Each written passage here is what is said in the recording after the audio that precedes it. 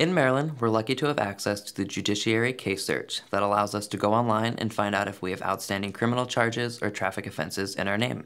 However, since court clerks are the ones that update the database, they use abbreviations and terms that not everybody understands.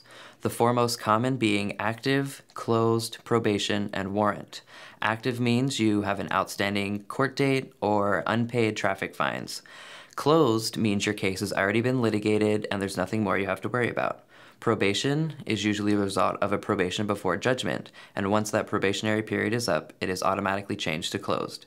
The most important term is warrant because that means there's an outstanding warrant for your arrest. If warrant is next to your case, that is the most severe of them because that means there's an active warrant for your arrest and you need to hire an attorney to be able to quash that warrant and get a trial date scheduled.